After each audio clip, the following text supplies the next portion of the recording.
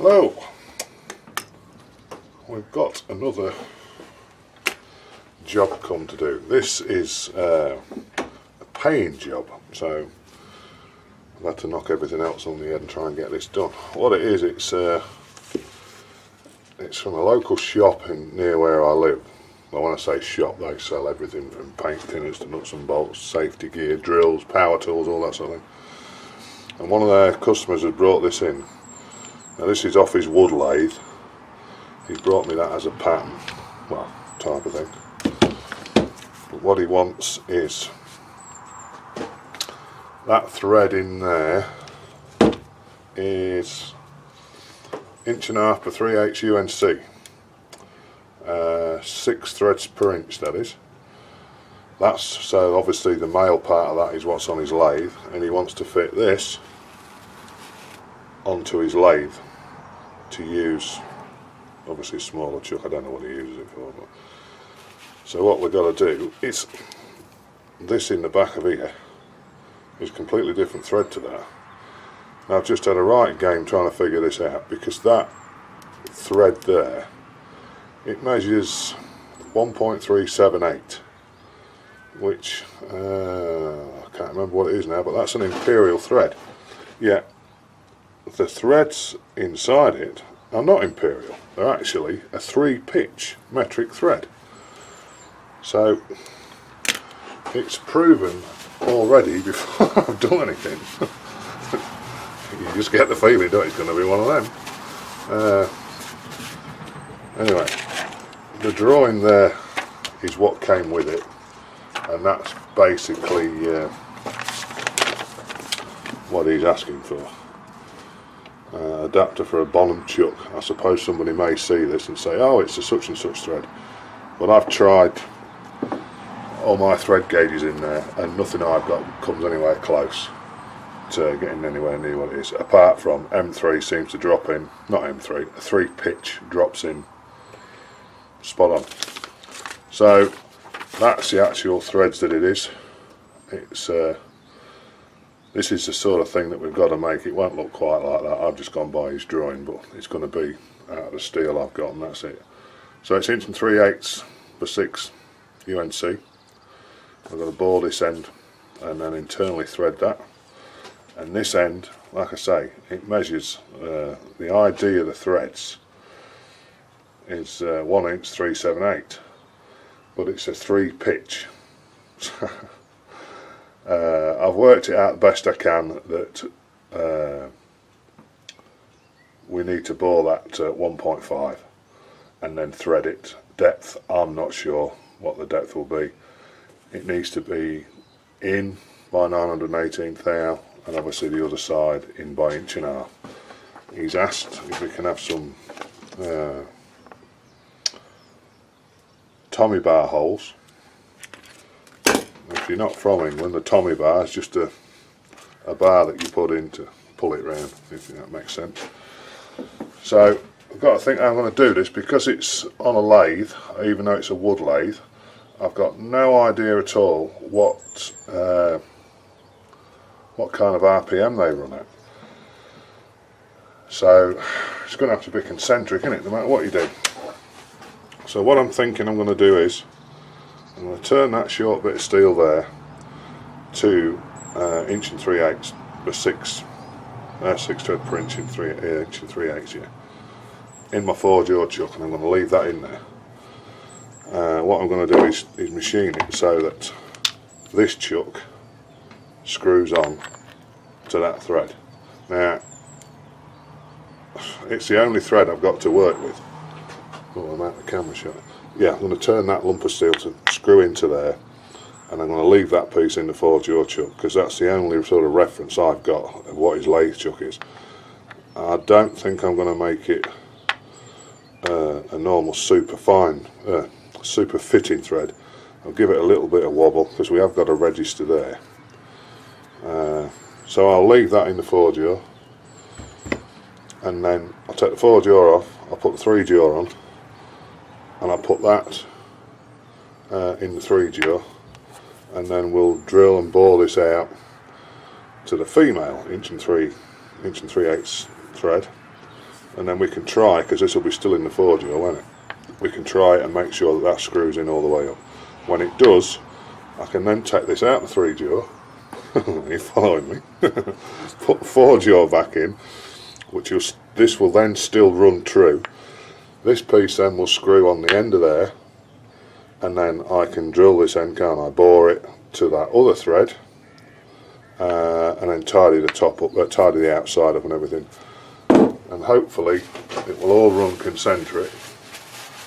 Everybody will be happy and well that's what I'm going to try. I've just noticed on the back look it's got index marks all around the back of that chuck it's quite a handy thing not that I know anything about woodchucks but anyway it says max RPM 2500 well it gets trucking a bit doesn't it if that's what they go up to yeah, it's good to have a look at that. So yeah, it's going to have to be concentric.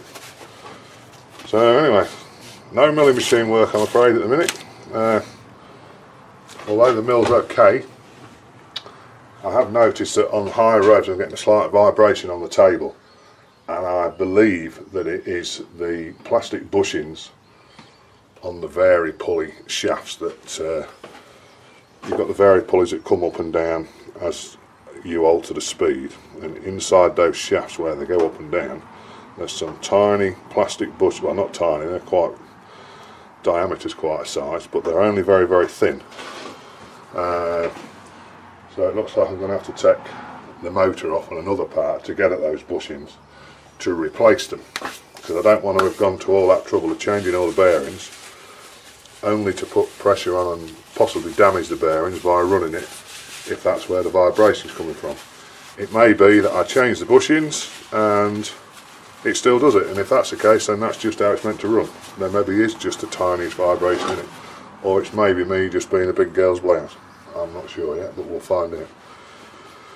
Anyway, we'll get on with this.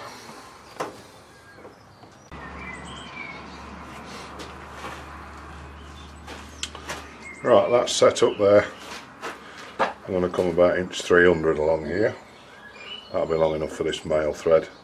It's currently, oh, I've got to get that down to 1375.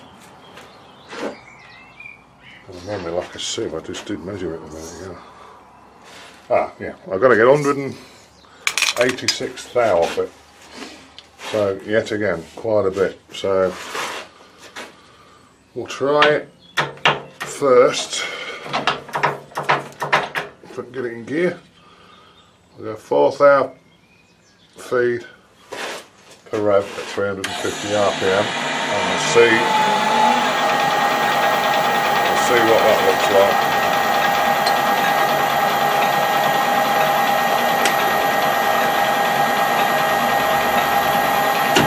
Put on Bovie. Start off small and work our way up, that's 15 thou.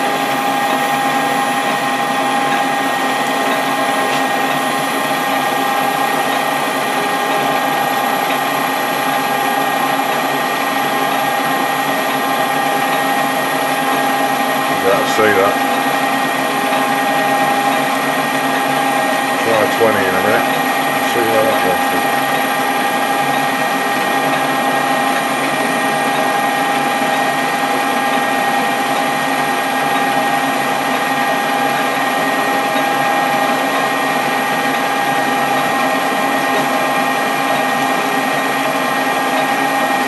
finish anyway.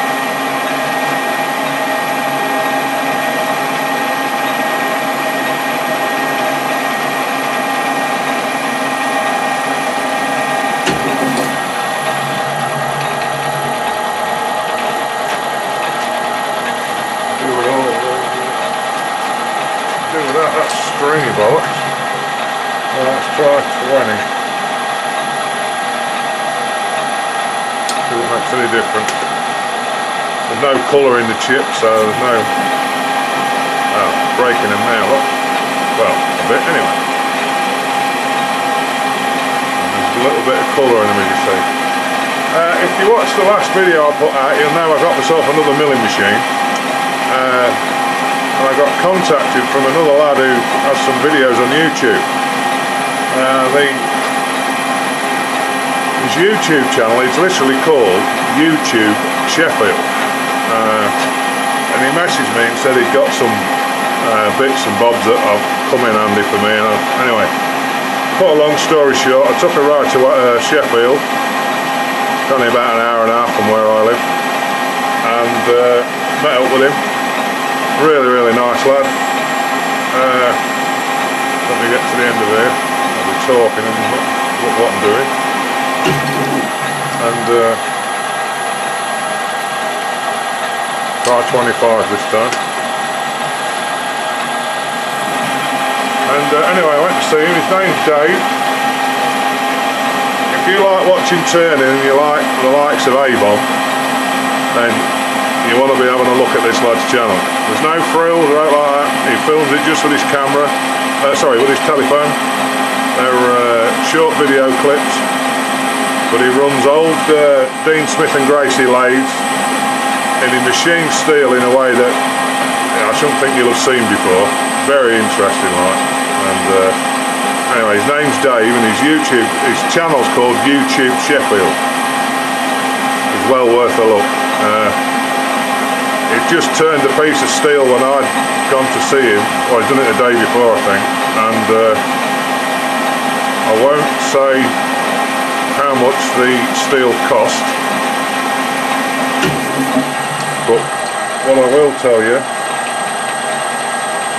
is that the scrap chips that come off the steel that he turned, I wouldn't want to pay for the scrap. I'm being honest there. The steel itself was oh, colossal. I think he said it was sent over to him from Germany for him to bore the middle out. And uh, you have a look on his videos and you'll see how he bores out the steel he uh, think Abom turned some decent stuff, which he does, you know, I like Adam, he's a real nice lad. This guy's on another level. So, uh, anyway, well worth a look.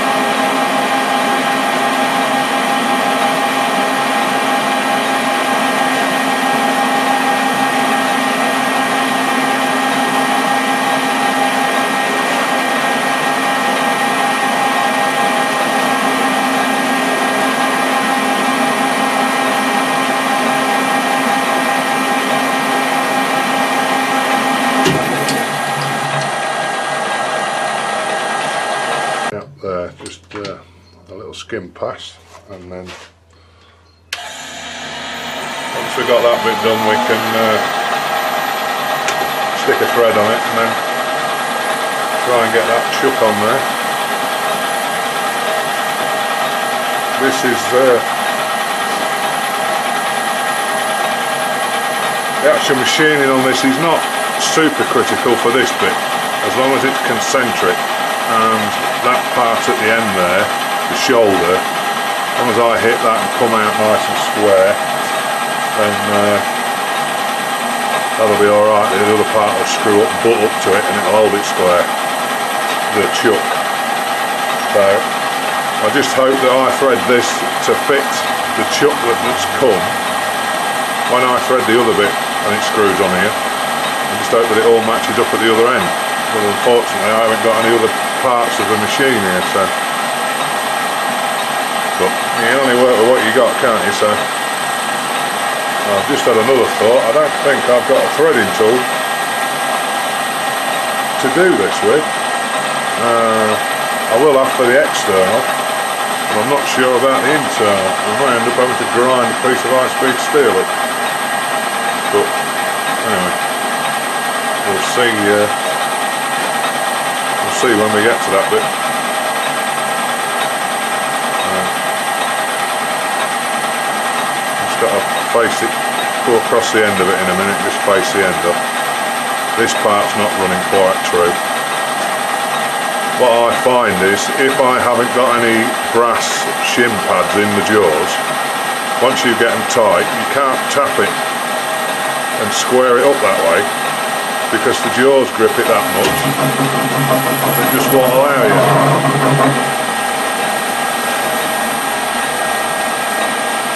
That should give us a nice register to oh, It would do.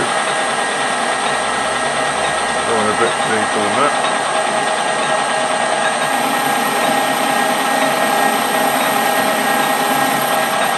Oh, you rotten!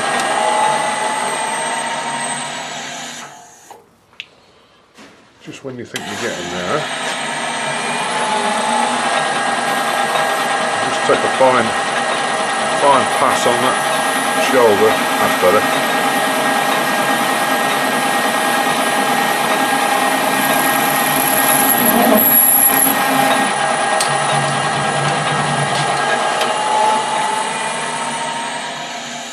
Just caught the back edge of that. Anyway, that doesn't matter. Right, we'll get set up uh, to cut this thread and then uh, see where we go from there.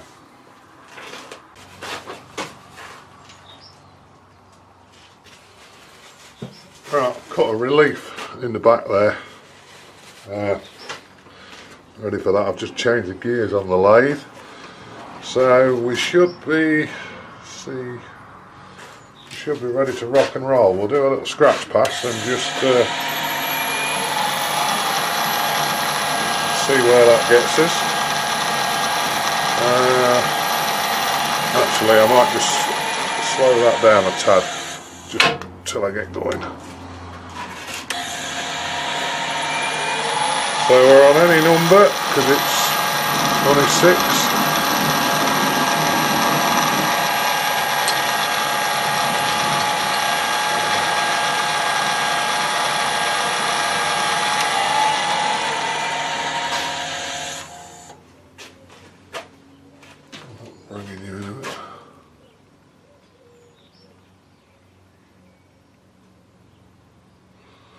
Ignore that first line there because that was where I did a scratch. If we go from there, looks on the money to me.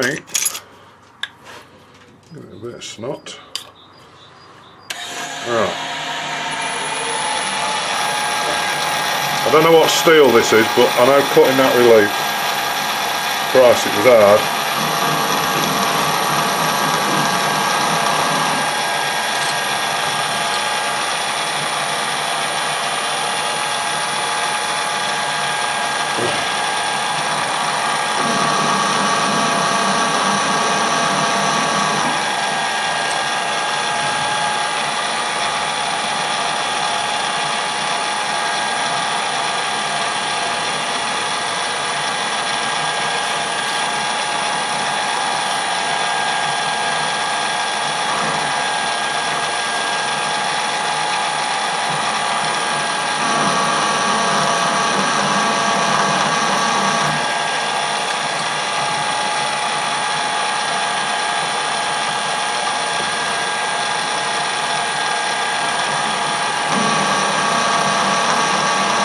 Trucking down there, isn't it? Not hanging about.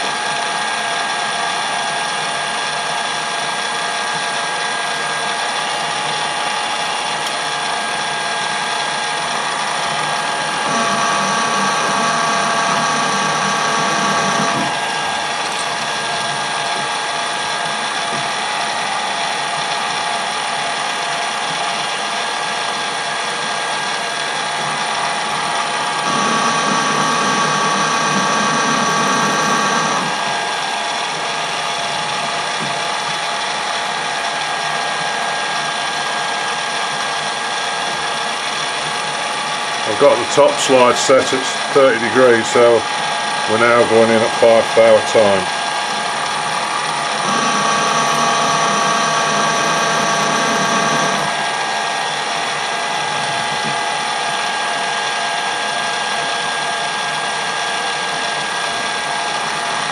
Fair bit of depth to this thread as well. According to the Zeus book about 100 pounds.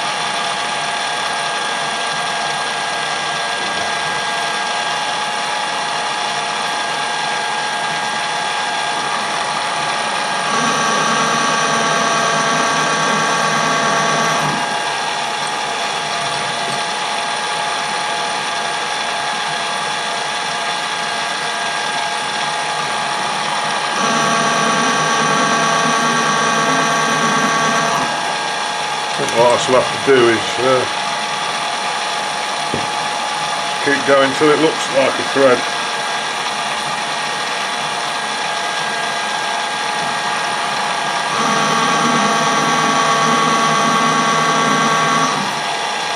Once those peaks in the middle start to come together a bit then uh, we'll have a bit more of a look.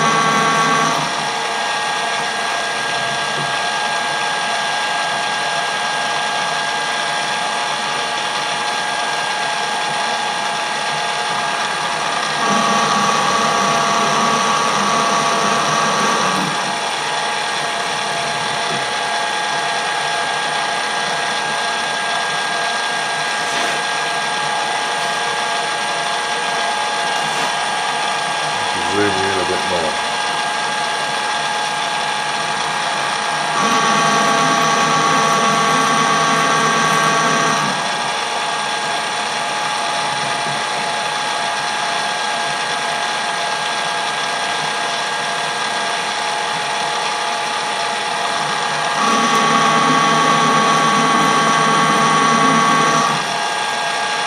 I'll tell you what, she knows she's cutting that think we'll, uh, we'll go on that one again on the same setting and just see. Yeah, look.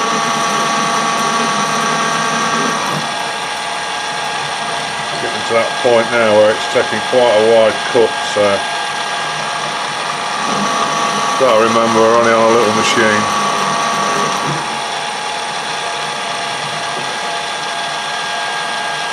That was two. Will be the third spring pass at that Yeah, that's a bit better.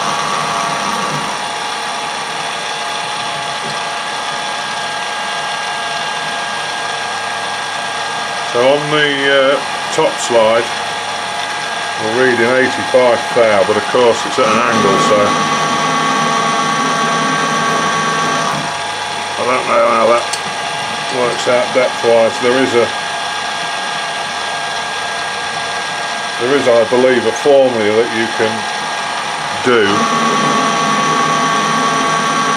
to uh, work out if you want to go in 100 thou straight in but you're going to use the top slide set at 30 degrees. I think we'll do a spring pass there. There is a, a formula to tell you what the difference will be and how much further you've got to go. So I don't know what it is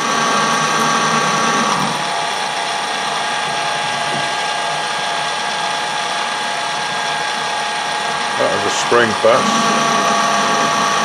So's that.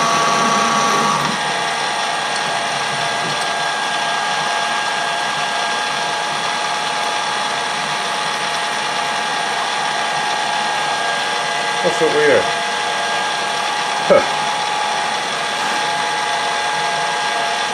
The uh, shop dog's just stuck his head in the door and looked at me. We'll see what the time is. Hang on a minute, Finn, while I get this finished.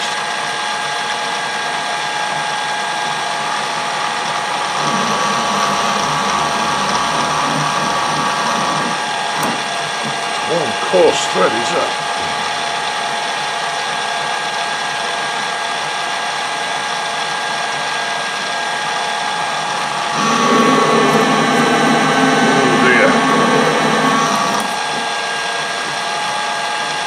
Too much.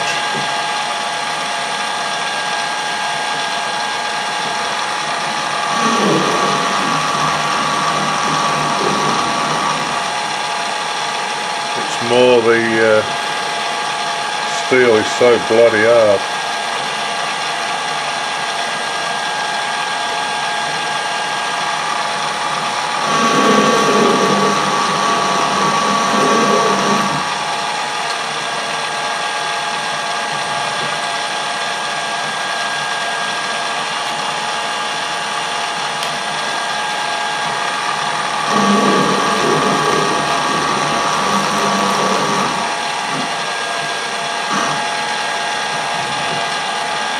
Job this is only a trial bit, isn't it? Well, not a trial bit, a, to hold it.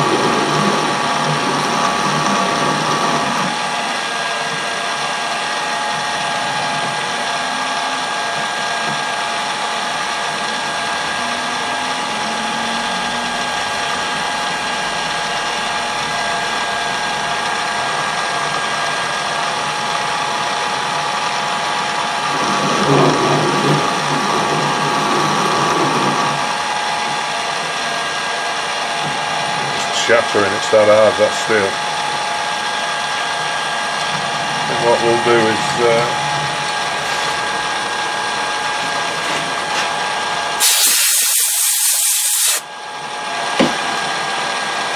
I don't honestly think we're there yet, best give it a go and just try it.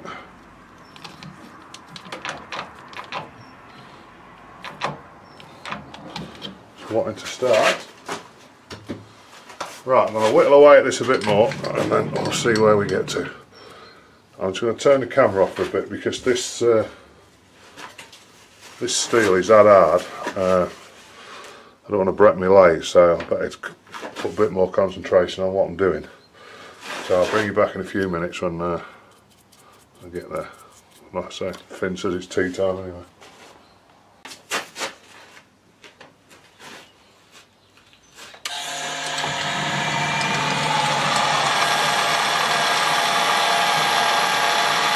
Just about there, think.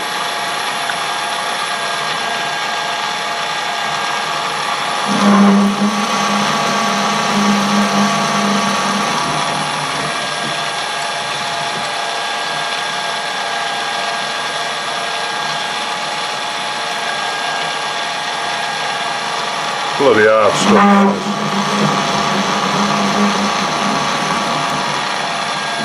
extremely hard. I don't know what it is.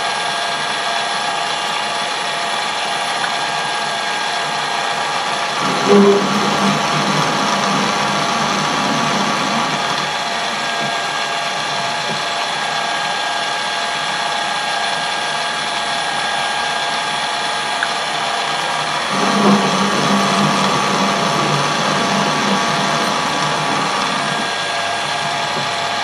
more and we'll try it.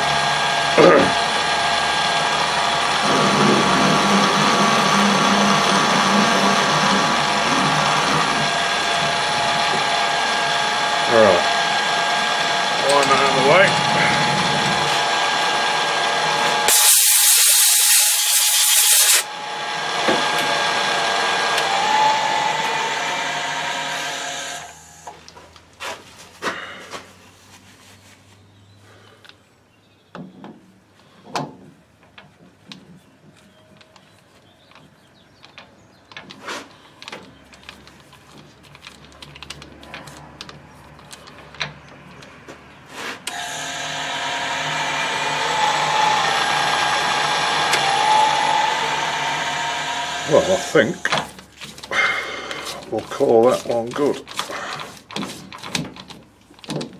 Let me just put it, get it back on about halfway again.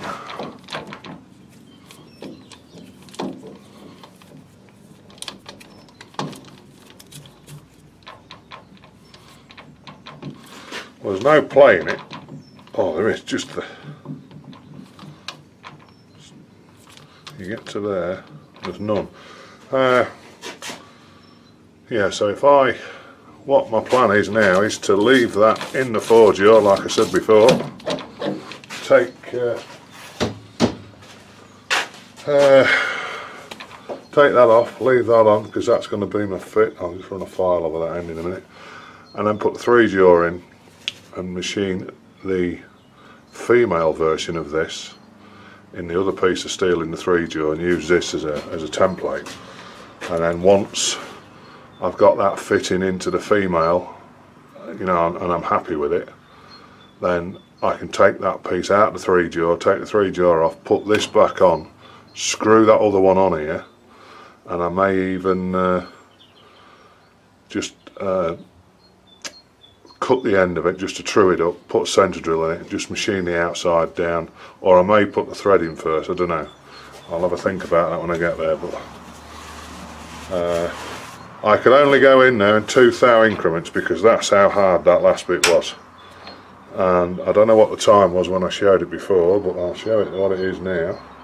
It's now half past six and my little black dog is uh, he's beside himself with worry because he doesn't think he's going to get his dinner. but anyway, he will. I'm going to go and feed him now. So I'll uh, maybe come back out after tea and do a bit more. Right, see you in a bit.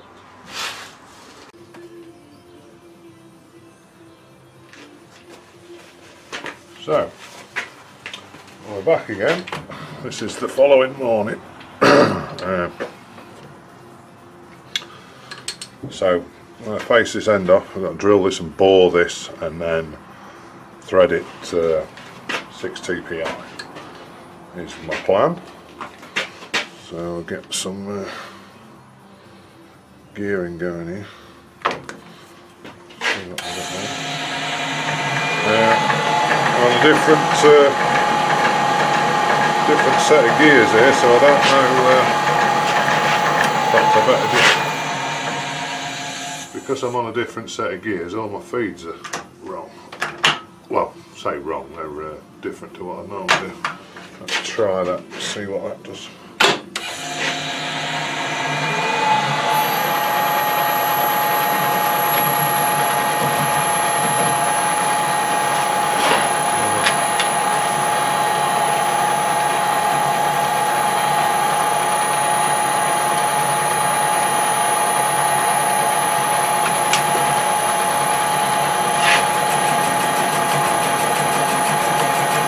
So we'll of that up and then we'll get uh, we'll get rigged up for some drilling. Let's see.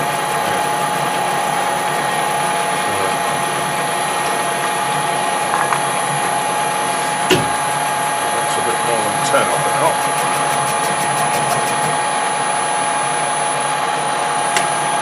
Try that.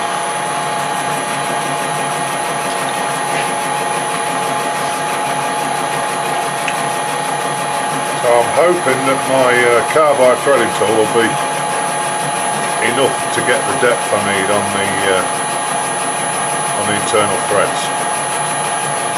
So like I say, the part that was in there before that was just threaded, that's still in the four jaw ready to go back on to screw this onto. And then we can machine the rest of this up. Uh, that's my plan anyway. What would I say about all good plans? Bit. Now I think this bit of steel might be what uh, YouTube Sheffield guy Dave gave me. So,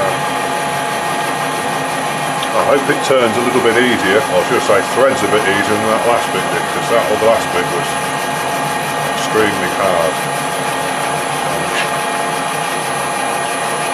Just realise you can't see like that, can you? right. We'll come back when we get drilling.